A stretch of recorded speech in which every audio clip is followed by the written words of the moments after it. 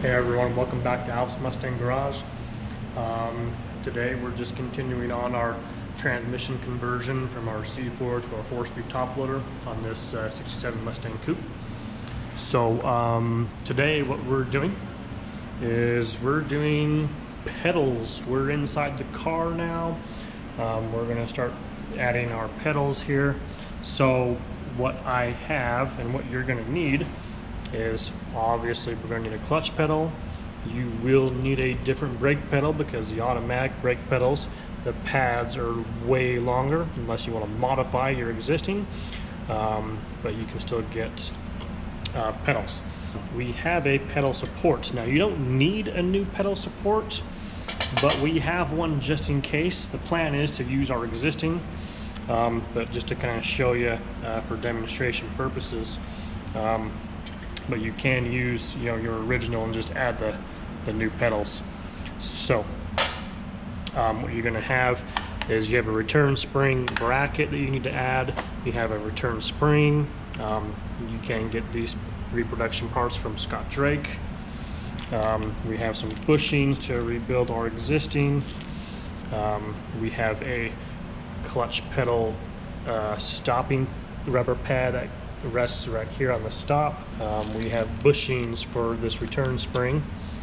So with all this stuff, we should be able to have what we need to uh, get our pedals assembled and situated.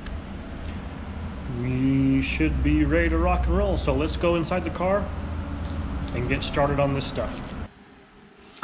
Okay, we're inside the car.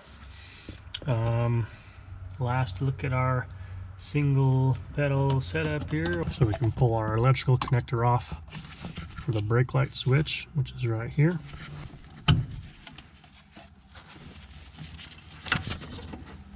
That out of the way.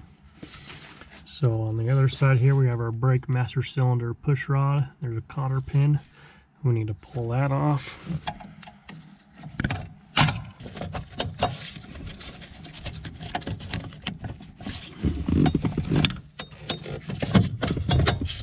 Okay, there's our brake light switch out.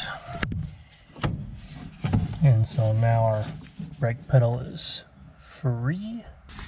So coming back over here to the other side of the support. Pull that off. Then you have a washer. And that pin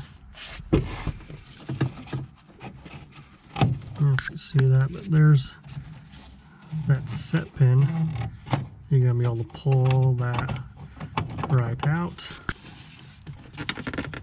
And there's that pin.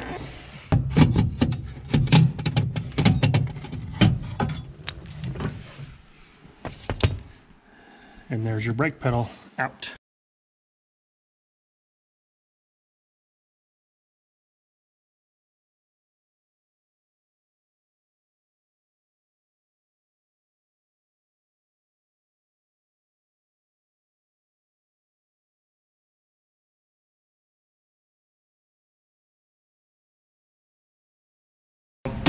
When putting these pedal supports together, um, they're slightly tricky. So we're going to do this outside of the car just so you can get a really good visual on what's going on here. So first and foremost, you have to add the clutch uh, return spring bracket. You can get the three bolts. Insulator bushing goes here and on the clutch pedal as well. The only the other thing that you're going to add is just a little rubber bump stop right there. That's for your clutch pedal. Now there's two different kinds of brake pedals. You can have your standard non-power assist brake pedal, which would go up in here with your in it in the the pin here for the clutch pedal will go through the brake pedal. But if you're in a power brake pedal, it'll actually mount up in this upper hole this upper location here because you have a longer brake pedal for the power brake assist, which is what we're going to add on this car. So we're going to put our brake pedal up here in this top hole like this. In order to get the spring on here, which is slightly tricky, you have to like hyperextend your your brake pedal, which you can't do with it fully installed. So you have to kind of pull it out a little bit like this and then hyperextend it backwards like that. The correct orientation of this is going to be like this. So leave this bracket a little loose. That way you can slide your spring in like this and get the spring started like that. You get a good visual of how that's supposed to go. So from here, you can kind of, this is where you want to watch yourself. What I think I'm going to do is I'm going to tighten these first.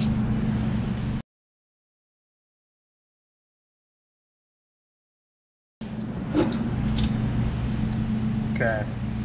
So with that tightened, if this spring happens to pop out, like it's, there's no way it's gonna actually come out like that. So, so now we just need to pull our clutch pedal up. It's a little easier than done. Maybe I'll just clamp this here on the vise.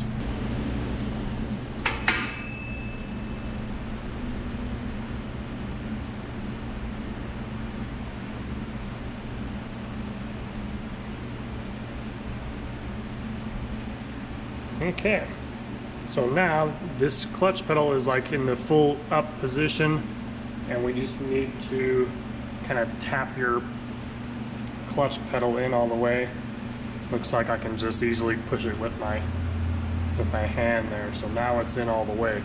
So that is how that works. So when you apply the clutch, it actually goes down nice and easy.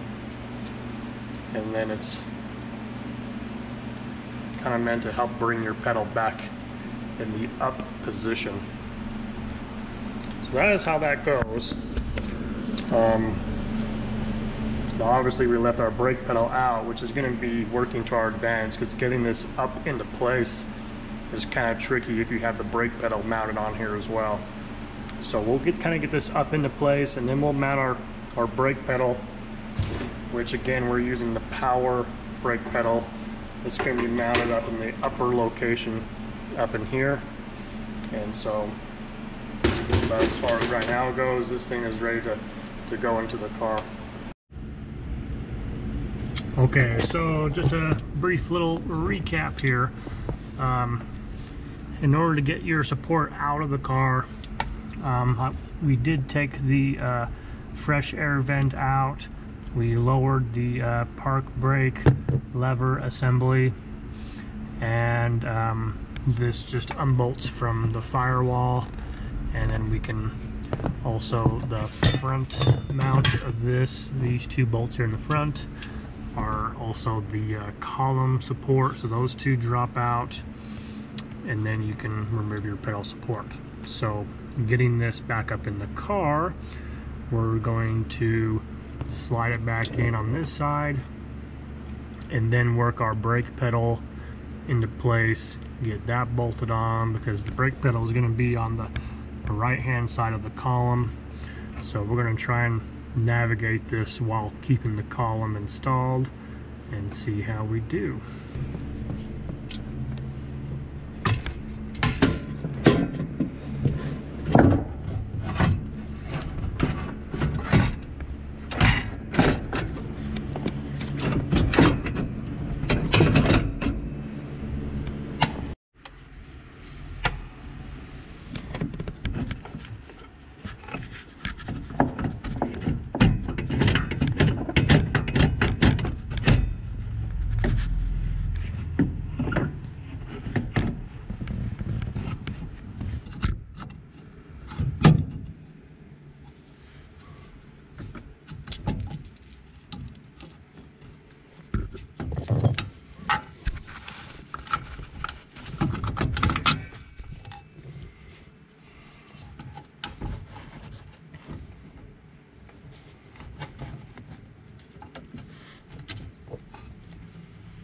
Yay! Brake pedals in, just gotta get my washer and nut on on the other side. And then we'll just need to tighten that, uh, tighten that down.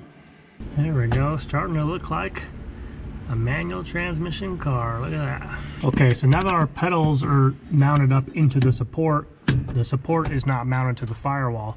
So uh, from inside, on the inside part of the firewall, you have two uh, set screws like this that will kind of like align it and get it started. And then from inside the engine compartment, you're gonna have uh, four bolts, two uppers, and then the two lowers actually go through the master cylinder also. So um, we'll put these in for now to kind of keep this in place. And then uh, we're gonna install the bolts on the outside. Okay, so now that we have our pedal support that's uh, up there in place, we're gonna do uh, the rest of the stuff.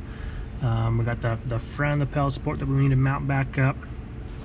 Um, this just has this little bracket and a couple of couple of screws that go in there. And then we can get our uh, park brake lever assembly back installed, our fresh air vent uh, back installed, and then our pedals should be done for the most part on the inside here. So, so I'm getting pretty excited. We're getting pretty close.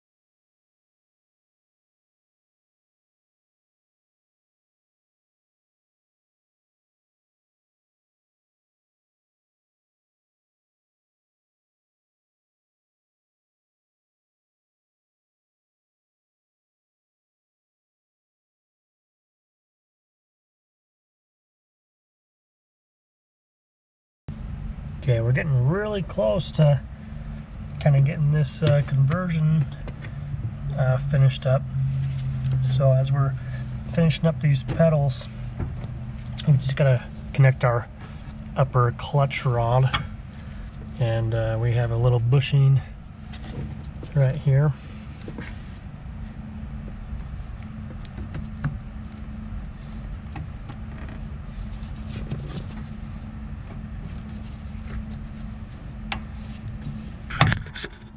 So that bushing goes in, your clutch rod goes in. It's also a little cotter pin.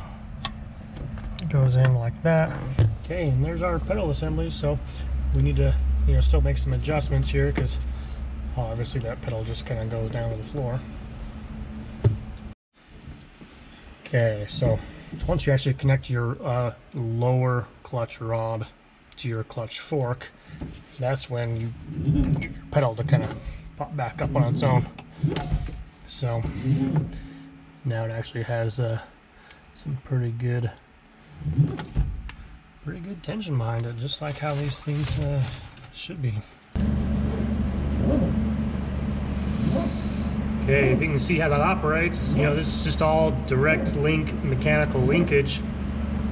So as she's stepping on the clutch pedal, this is your upper clutch rod connected directly to the pedal.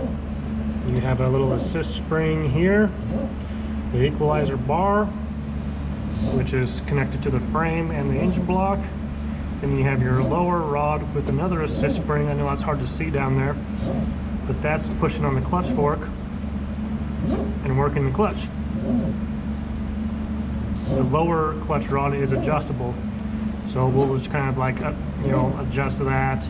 and get the any kind of play out of the pedal and get the right amount of preload on the uh, clutch fork. And it should, uh, should be great.